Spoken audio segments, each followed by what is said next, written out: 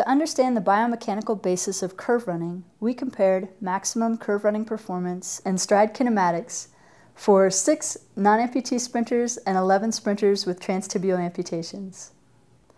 Subjects sprinted on straight, counterclockwise curves, and clockwise curves.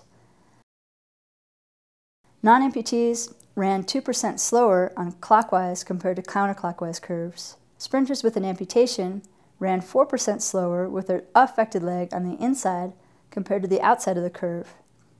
During curve running, non-amputees and athletes with an amputation had longer contact times with their inside versus their outside leg, suggesting that the inside leg limits curve running performance.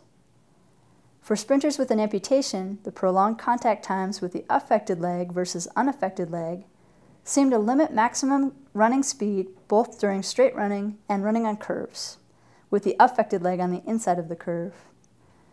This is a measurable difference and it could add up to two tenths of a second over a 200 meter race. This means that you could win the race or get fourth and not even end up on the podium. To make a fair comparison, we suggest that sprinters with a left leg amputation should be assigned to the outer lanes of the track.